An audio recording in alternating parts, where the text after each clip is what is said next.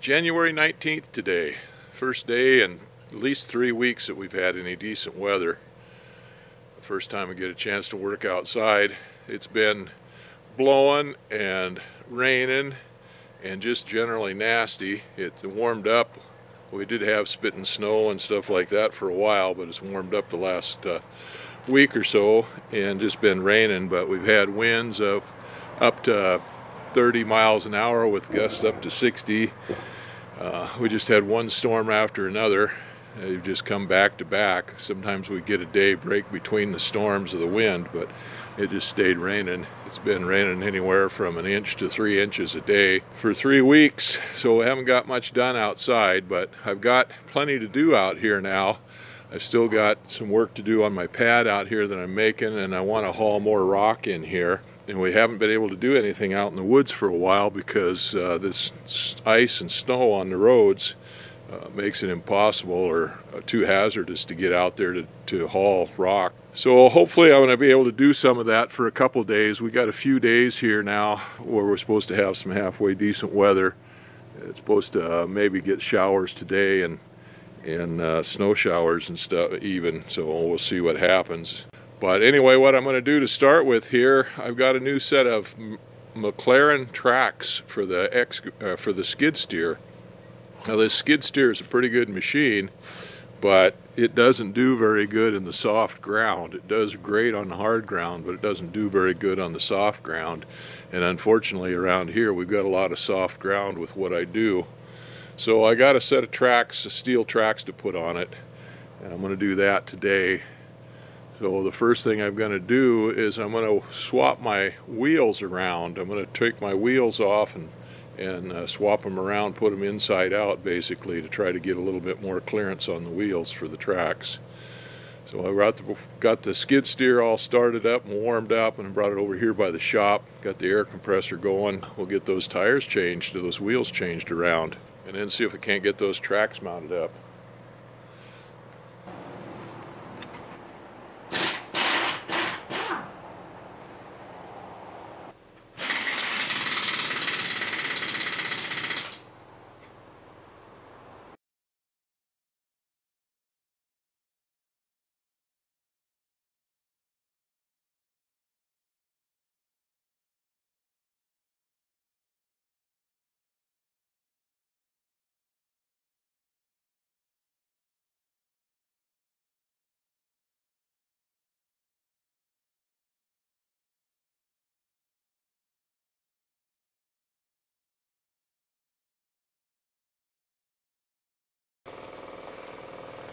I got the front two wheels changed, swapped around. Because the valve stem is going to be on the inside on those now and hard to get to, I went ahead and checked the air on them and filled them up. I do have a tire that's leaking a little bit, so I got to keep track of it. That front one on this side. So anyway, I'll let that front end down. I have to jack in the back up and uh, do the back wheels. My uh, air gun froze up, I guess. There's a lot of moisture in this air and in the in the airline and stuff, and so it froze up and quit working. Well, I dug out the old one and was able to get it working enough to make it work. I have, thaw out the, the new one and, and then uh, redo all the nuts stuff with it. Well, anyway, I'm gonna put the camera away. It's starting to rain or snow or something here. They put the camera away before it gets all wet. I guess I didn't hit record on that, but I got that track on there. It's pretty loose, so it looks like I'm going to have to do some adjustment on those. There's uh, uh, different holes in each one of those pads, so you can pull the linkage up tighter uh, in each one of those pads. But right now I've got it on there. Uh, it took the longest to figure out how to do it and to round up all the different tools. But what I did was I, uh, I ran the uh, machine up on the track until tail end of it, the tracks were just sticking out the back. I tied a rope onto the pad there and then I backed up to where I was sitting on the track on the rope, run the rope over the tires and then tied it onto a pad up there in the middle and then ran forward and pulled that track up over the tires. And then I had to manhandle it because I had a bunch of slack in the back there. I tried to pull it out with a come along, but that didn't work. Uh, got the link in. Now, like I said, it's pretty loose on there. I'm going to have to take up all those links or a bunch of those links on there and try to tighten that track up. Anyway, it took longer to find all the tools and figure out how to do it than it did actually would actually do it uh, to do it. But I don't know how long it took. But anyway, I got one track on. Well, I was wrong about him not giving any instruction or anything for those tracks or any support or anything for them. When I took that second track off of there, uh, this box fell out of there and anyway it's got all the instructions. It's all wet. It's got all the instructions in it. I have to dry that out and once I get all done I'll read it. But like I said it's got all it's got the instructions in it. It's got a toolkit. It's actually got a, a ratchet uh, with some sockets that I know that was three quarter maybe it's 18 millimeter 19 millimeter it says there. So I know a three quarter inch wrench worked on it but anyway, uh, so this, uh, they've got these little claws here. I guess these probably fit in the tracks, and then you've got a, this would be, this would go in these, and you got a nut on each side of them here, and they're, they're square nuts, so they'll lock in. And then you can just take a, a wrench, that must be what, what these smaller wrenches are for here, put this on there, put this on the tracks, and then take this wrench and tighten it up and you can pull those tracks together. And there's actually some extra nuts and bolts there too. So yeah um, we'll have to see how those work. I could have used those to pull that track together to put that uh, couplings in there but I can use them to pull each one of those pads together to tighten that track up. So anyway yeah it, it comes with a toolbox so that's good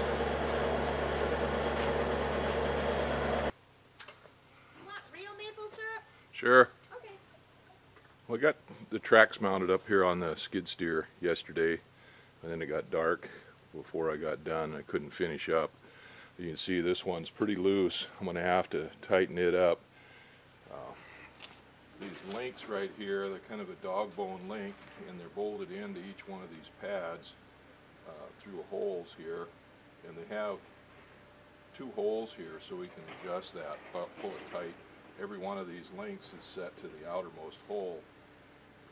So if we take uh, and change these so we pull one of them to the inner hole on each one of these for a while, that should tighten these up. It says three quarters of an inch for each one of these holes would change.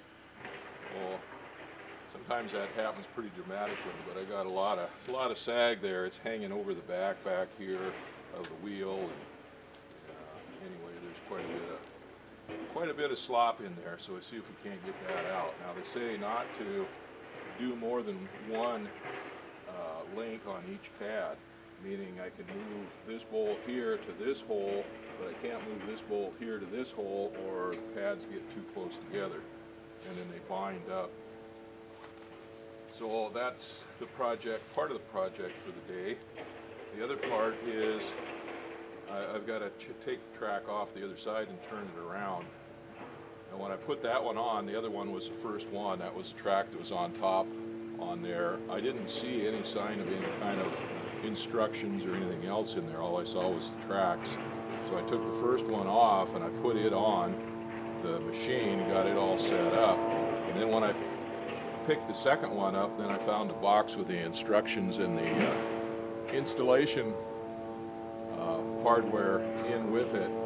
And well, then they, they said that these have got these bars in the front here. These, the, the bars on the track should go to the front, and I've got it installed the other way around, although I'm not sure it makes a whole lot of difference. But anyway, we'll turn it around so we get it. But that track is loose too, so I guess first thing I'm going to do is go ahead and get this track tightened up so as I'm moving this machine around, uh, it doesn't cause any damage pulling those wheels out, swapping those wheels around 180 degrees like I did, uh, putting the inside out and the outside in, that gave me plenty of clearance on there. You can see that now that I've got plenty of clearance around everything for the tracks. Well, I'll go get the tool that they've got for pulling those tracks together and start trying to adjust that track and get it tightened up.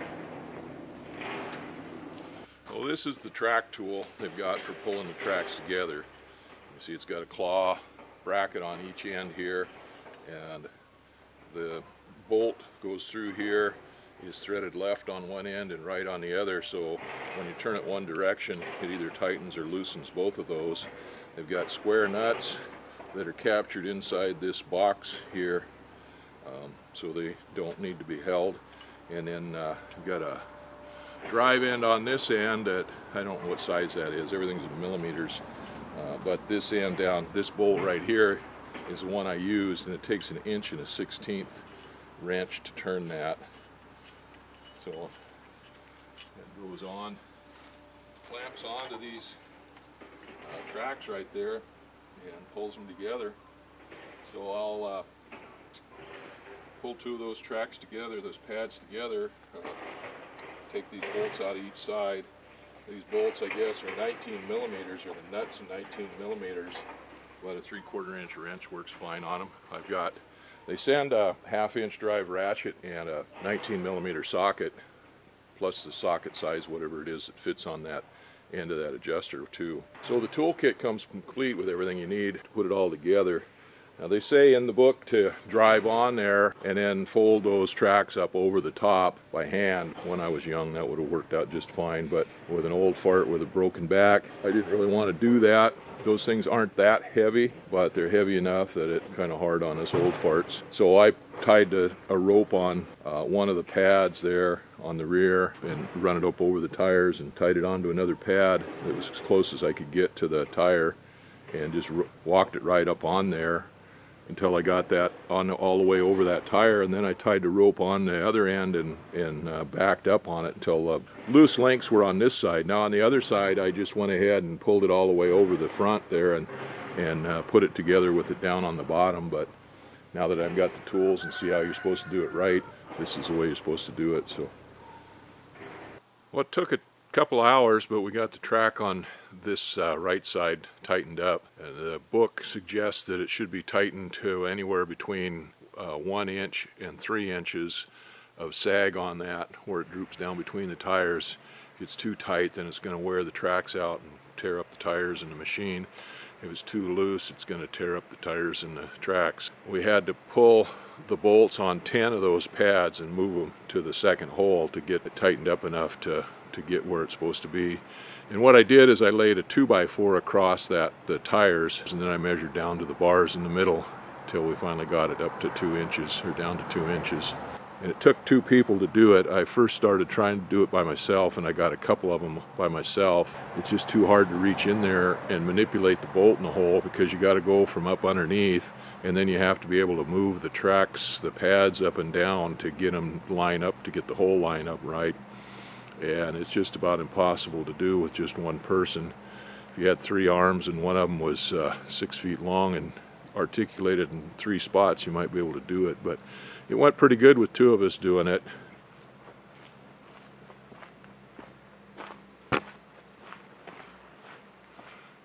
The left side over here is the side that I first side that I did yesterday before I found the instructions on it and I got those tracks on there backwards according to the instruction. The main crossbar is supposed to go to the front. I just decided that rather than fight with that track on the machine, I'll go ahead and take it off. I've got to take it off and turn it around anyway, and I'll just go ahead and take it off and adjust those tracks while it's off the machine. It'll be a heck of a lot easier to do. That way I can just do it by myself. It shouldn't take very long to do that. I know I've got to do 10 of them. So if I do eight of them to start with and leave two of them uh, to do, I can get it all put together and that way the track will be loose enough that it'll be easier to put together to put it back on the, the tires and then we'll have slack on it to do that and then we can go ahead and tighten it up. Anyhow, that's what I'll do. I'll go ahead and start that machine up and back it off of that track and then we can get it turned around and get the pads adjusted on it and shortened up and hopefully we'll be able to get that thing going it's getting kind of dark now. It's getting late, so, uh, well, it's not late, but it's dark, so won't be able to work on it much longer. Now, we got a few nice days here now. Um, yesterday was pretty nice. Day before it sprinkled a little bit. Last night it froze pretty hard. The grounds froze up. It's a pretty nice day, so we'll get to work on this again. I got that track on the right side all tightened up and set up and everything. And then this side I had it on backwards. I had it, these bars here, according to the book, are supposed to go towards the front of the machine. And I had it the other way around. So I took that track off completely. Of course, it was sagging just like the other one was. It was pretty loose on there. So anyway, I took that track off completely and turned the machine around, put it on the other way. But before I did that, I went ahead and tightened up that track. I took eight of those links and pulled them together like we did on the other side and then uh, put the track together and of course then there was a ninth one that got pulled together when we put the track together. Uh, we run that one into the short hole too. Well I took a stick on there and measured it. You set a 2x4 on there like that and it's across the the links um, and then measure it down. And I've got four four and a quarter inches there so that's still too much slack in it. The other side we got it down to just a little over two inches which is ideal. The company says it should be between one and three inches and two inches is ideal. So so I'll go ahead and tighten that thing up take uh, one more link up now it may have been that I could have taken one of these pads out of there, one of these links out of there completely, I don't know. I didn't measure it, but with them all in there like that, uh, I think it got, these spaces are closer together, which should give it a little more flotation. So this is the tool that they send to uh, pull those tracks together. It's got these two claws on it here. Um, there's a nice uh, box welded in on the claws and they've got a square nut that drops into those holes. It's captured in those holes and then this screw is threaded opposite directions opposite opposite threads on each side. So it acts uh, as a take-up. So and then it's got a nut welded on the middle and it's got a hex on this end that you can either drive it from one end to the other. So by taking it like this that opens that up and you can just take, put it underneath the track and put those fingers up through. Okay, so now I got it too far apart. I'll bring it together.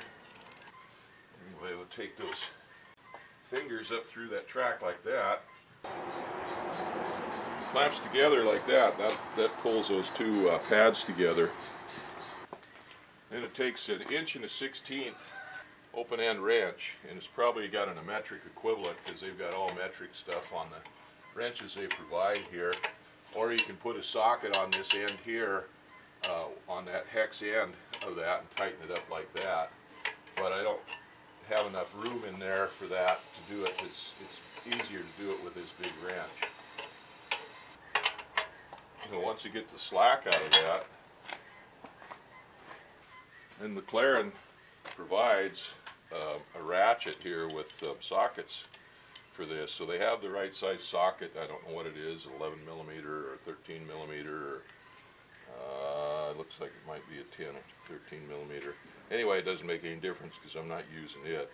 But they provide the socket for uh, 19 millimeter, which is what this for these bolts here. The nuts, actually the bolts are uh, carriage bolts. They, they uh, have a square on the shank of them and they're round so that they don't tear up the tires. So anyway,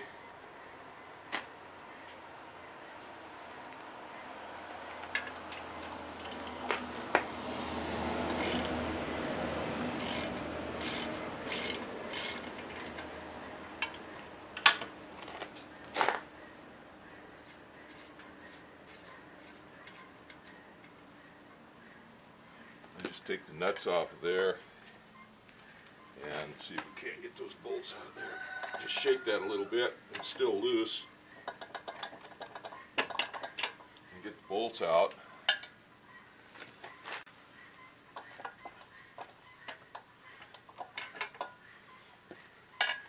Okay, now what I do is go ahead and um, tighten this thing up some more.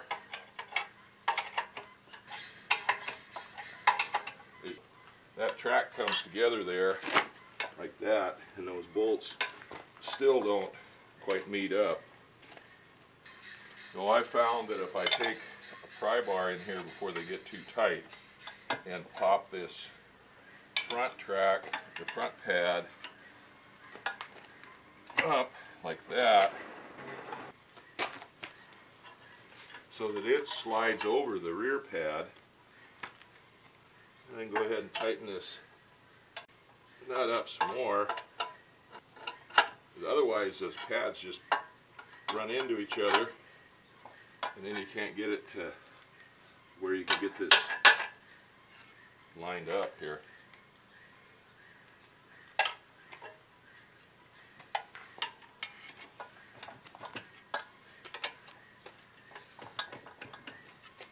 So that one front pad slides over the rear pad and now I should be able to line these holes up on here.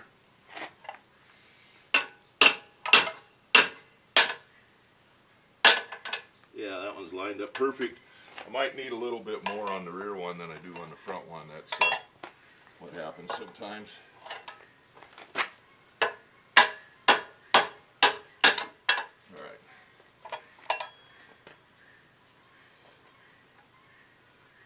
So well, uh, I'll see. Now, these bolts have a square shoulder on them up here near the head, a carriage bolt, and they fit into a square pocket on these tracks. Well, you gotta kind of line that up so they fit in there. Sometimes that can be a challenge. Oh, that one popped out of its little socket. Okay, that one's in. We'll see about getting this one.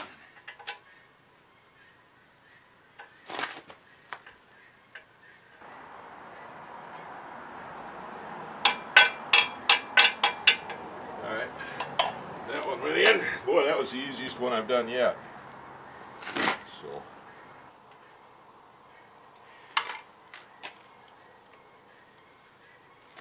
Now we just tighten these up, German tight, good and tight. Actually the, the manual says 100 pounds, so, or thereabouts. It says if you use a torque wrench to torque into 100 pounds. Well, that's it. Now, loosen up that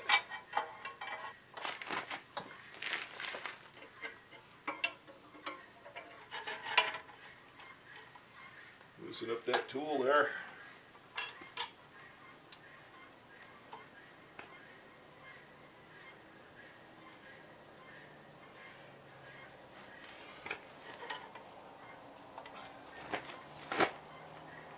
And pop it off. Go. I'll measure that and see how that worked.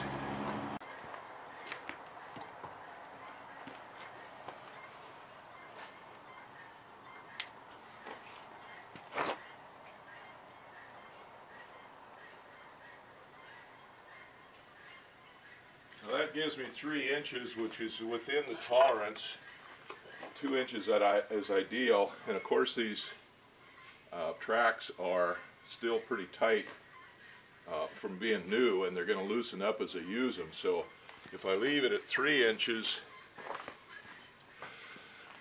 so anyway, since that thing is at three inches and that's within the tolerance, I could leave it there, but because the tracks are still brand new and they're going to loosen up very quickly as we use it, I'm going to go ahead and pull one more tight, uh, tighten one more link up, and that'll get me within my tolerance. That'll, uh, they, I think they said you get three quarters of an inch for each one of those that you pull.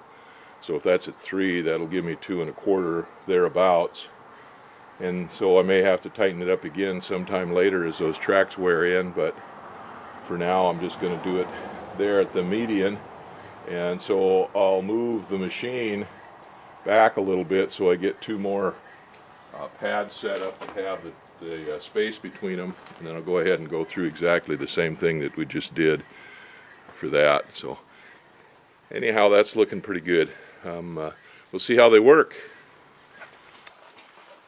Alright I got the next track tightened up on that adjusted up on that. It looks pretty tight compared to what it was, but it's right exactly at two inches, just under two inches, like one and seven eighths inches, something like that, which is good.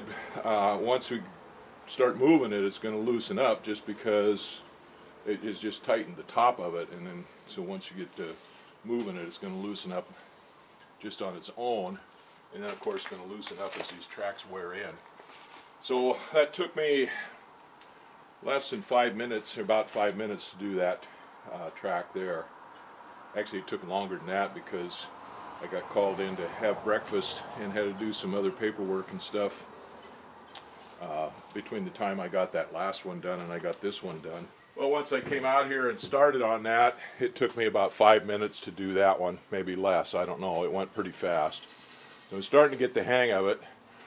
Like I said, what I do is I put that clamp on there, um, pull these together to where they're not tight, but uh, to where they're held together, and then take the bolts out of there. And that's when you gotta don't want it tight because you want to be able to get the bolts out of there. Uh, take two bolts out, opposing bolts, and then uh, tighten that clamp up. And I got to take some bars to put in there to pull this one uh, pad up so it slides over the other one and pull it in until the holes line up in these uh, donuts here and these links with the holes, the, the inner holes that the bolts are going to go into. You don't want to do uh, two of them on the same link because then it gets too tight and it'll bind these, I don't think you could do two of them on the same link, but it'll bind these pads up. But you can do two of them on the same pad if you do them on opposite link. That works out good. Okay, it, it's easier to do that if you do it where you've got space. So like for instance, this is the one I just did before, and if I did that one and then did this one, then it would have been harder to get that clamp out of there. But if I do, I moved uh, one pad and then that way these pads here were farther apart they're not close together so you don't have to fight to get that link out of there especially that gets harder. It's easy to do when it's lots of slack in there but as you start getting that thing tightened up then it gets to be harder to do so. Anyway those should be adjusted for now so now I've got some stuff to do. I, I've got to go get my excavator started up and uh, move a couple things around and then I'm going to take this up and start moving a little bit of dirt and see how it works. Hey Zen, hey Zen, yeah, good boy, okay. Well, well the tracks are all installed on the Bobcat and skid steer. Everything's all set up on it now. So I guess it's time to put it to work and see how it works. Uh, I'm going to go ahead and take that thing back up and put the uh, forks away and put the bucket on it and start doing a little work around here with it. Now, there's two reasons I got uh, tracks for that. And the one reason is because we get a permit from the Forest Service to get rock out of the shot rock out of the pits here and out of the forest and I get a lot of that. And out there in that that shot rock is pretty sharp and that tears those tires up. And then of course you spin on it and stuff. You can't put all of the power of the machine into the bucket and the equipment on there. It, uh, it spins out on the loose gravel and stuff and that stuff just tears those tires up. So I thought if I got tracks on there that would help protect those tires. And it may ancillary to that it may um, transfer more of the power to, to make it more efficient in working on that um, and the other thing is, in, around here, the work that I do around here with it on the property, we're, we're on soft ground. I've done a lot of uh, hauling muck, mud around where we've dug out uh, hillsides here and hauled it over and dumped it in low spots there. And as wet as it is here and stuff, that stuff gets pretty nasty. And that Bobcat is kind of helpless there on it when it starts spinning the tires. So hopefully that'll give it a little more flotation and a little more traction working in this mud and stuff. Well, that's what I'm going to do today. I'm going to go ahead and, and uh, move some, some mud around, move some dirt around. So I'll go ahead and take that uh, back up and take the forks off and then put the bucket on there and get to work with it. I've had a lot of experience working with track machines. I started out when I was about 15, 14 years old, 15 years old, running bulldozers, Cat D6 and John Deere and other bulldozers and stuff, uh, logging. And I've got a lot of experience with them plowing snow and, and on the ice and stuff. I plowed a lot of snow with them, plowed in the ski resorts with a D6. And then here, of course, I had the track machines here, the, the excavator, and a couple others. And track machines just don't work very well on the ice, uh, especially on the hillsides. You can get them going back and forth on the flat, but you, they act just like skates when you get on the hillside. And, and uh, so when I bought this machine, I bought it on wheels so that I could put tire chains on it to plow snow with. That was one of the things. And that worked works good for that, but it, it lacks in its ability on working in the mud and stuff with the tires on it. A track machine would be better for that. So that's why they've got the tracks. And I don't intend on leaving the tracks on it if it snows and if we start having to plow snow because, as I said, track machines don't work. I'll see how these work. These got some bite to them and stuff, but once you start getting ice on it, it doesn't make any difference. Uh, uh, they, they just slide and uh, they're, they're, they get to be helpless or dangerous. So I'll get to try on this machine and start getting it to work. When I first put those tracks on there, moved it back and forth there a little bit, uh, getting them on and whatnot, uh, they made a lot of noise and they bounced pretty good. Now that I've got those tightened up and set on there, running that back and forth, they don't make near the noise, they don't clatter near like they did. But that thing is rougher than a cob on this hard ground. It jounces you pretty good, so going to be a kidney buster on hard ground. Uh, well, this is our work spot, or trial spot for the Bobcat with the tracks on it here. Was a nasty spot here. This is across the creek from where our working area is, where the cabin's at and the shop and all of that stuff. There's a little creek there. And this is on the other side of that. This was kind of a nasty spot. There was a lot of trees in here, little trees in here, are not too pretty good sized trees. Some of them I milled a lot of that stuff up for the, the shop and some of the other things around the place there that we've built. But it was a, a nasty spot. There were big deep potholes in here and humps, well mostly holes, and it was pretty steep coming down here. Well, we hauled a lot of material in here, all the stuff that we've dug out from around the house, around the pads and stuff like that, we brought over here and we filled all this in and brought it up and trying to make a usable spot out of it. And of course, uh, my wife has got it all planted before I got all done with it and stuff. She's got her gardens in here and stuff already. But this is almost all fill in here, and this is the last bunch of it that I brought in right here. This is the stuff that I dug out of that bank when I put the new water tank in there, when I dug that hillside out for that. And I brought it in here and spread it out and that'll bring this up almost to level, almost to a nice level grade. And it'd take a while for this to set up. Uh, it, it, was all just mud. We've had almost 200 inches of rain in the last eight months or so, and, and all this stuff is just stirred up and wet. And I usually work on this in the wintertime when it's froze up and I could get around and then have to push this out and then wait for it to freeze up with the, to bring the Bobcat up here to push some more out. So that's one of the reasons we got the tracks. So the first little job we're going to do here is right over here. My wife has built up some raised beds there and I've taken those out and disassembled those but we've got the dirt that she's got mixed up there. She's she's built up some soil for garden soil with uh, chicken manure and seaweed and done a lot of work on that kind of stuff building up the, some good garden soil. So I've got to move it out of the way so that I can bring in more of this dirt to fill.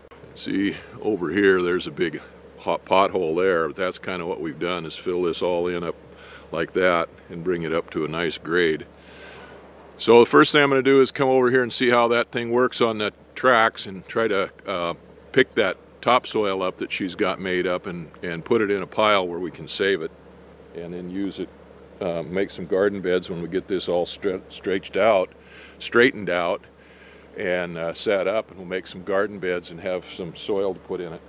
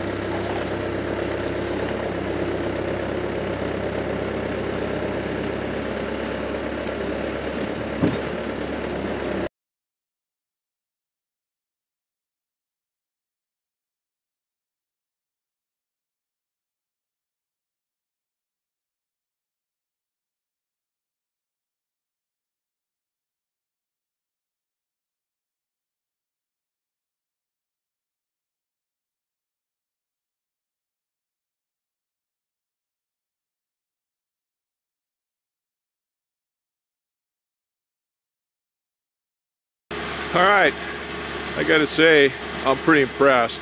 I never could have done that with it uh, just on wheels. It did spin out here and I couldn't uh, get this one load off the end down here. It got down over the hill a little bit steep on that soft uh, wet clay and it spun out. I had to dump the load and push it backwards to get it out of there.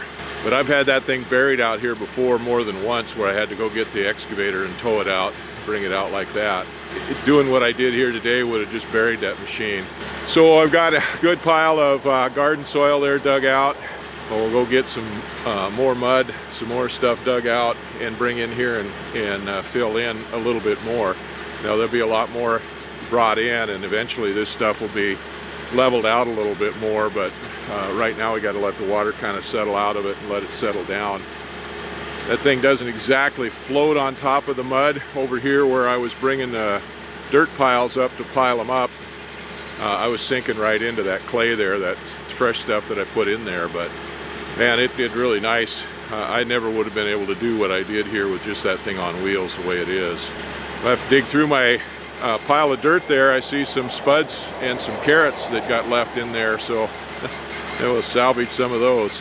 So I'm going to move now and go down to the other end of the property where we're digging out for the warehouse down there, and we've got some clay and stuff to uh, a little pile of clay and stuff there to, to uh, dig out to get out of the way and I want to bring it up here and dump it.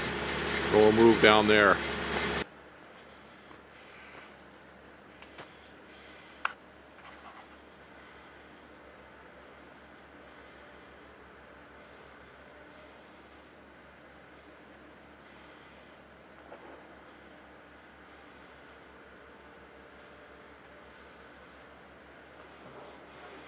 I don't know if those are the same deer that were over there by the chicken coop or not. Could be, they wander all over around here.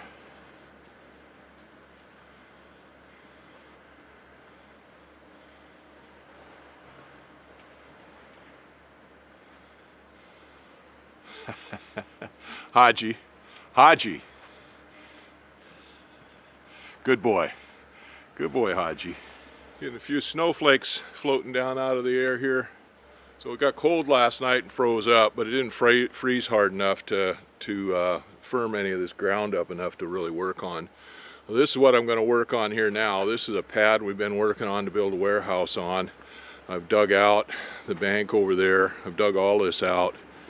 And most of the dirt I hauled over, uh, just uh, slung over the side over here and filled in some low spots off the edge of the property between the property and the highway. But this is what we've got here. I've dug this last part out. And I didn't have anything to do with this last little pile of uh, mud here. I, have got some of it put up in low spots around in the muskeg around here. But that little last little pile there, I just didn't have any place to put it. So I want to haul it back around there where we just dug out. But this is all, that's all hard, relatively hard there. That's hard pan, uh, clay, but there's some soft spots in it but it's slimier than heck. And so I was had built the ramp down there to take the Bobcat down that ramp to go dig that out and haul that stuff off. But I wasn't real sure I could do it with the tires, uh, with the wheels on there. So that's the it. And that pile is, uh, is just soup there. So I'll go get the Bobcat and see if we can't get that stuff out of there and get it moved out of the way.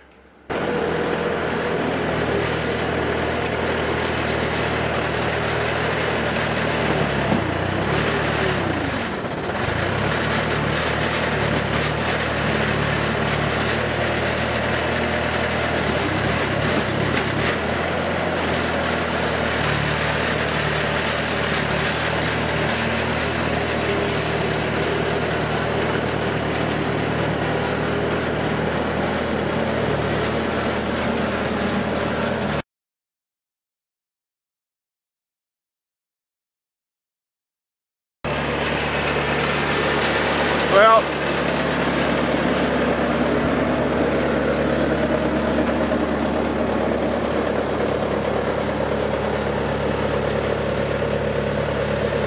so far I'm favorably impressed with those uh, tracks. They're working pretty good. I could have never got down in there into that hole like that and got a load like that. That machine will stall out now before it spins the tracks it'll uh, kill the engine now before it stalls the tracks. Where before it would have spun out, I would have had a heck of a time getting around it. I probably wouldn't have been able to get down in there or get out of there like that.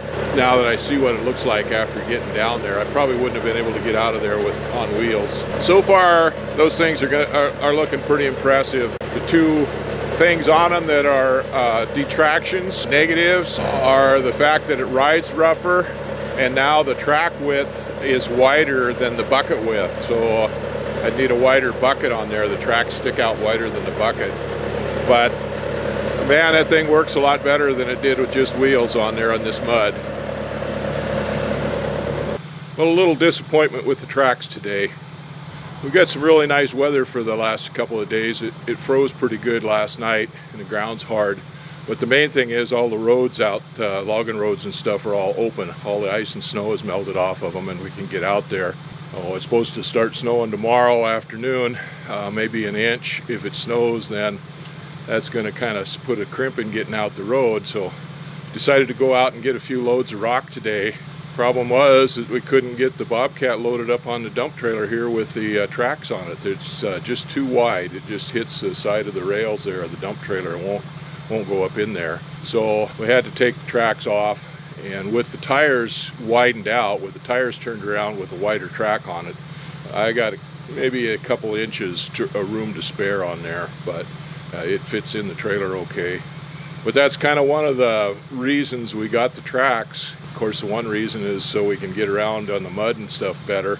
But one of the other reasons is so when I go out into the pit to, to get rock, it doesn't chew those tires up so so bad. I was hoping the tracks would armor those tires up and and uh, protect those from getting cut up on the rock. But it, and it would, but it won't fit on this trailer.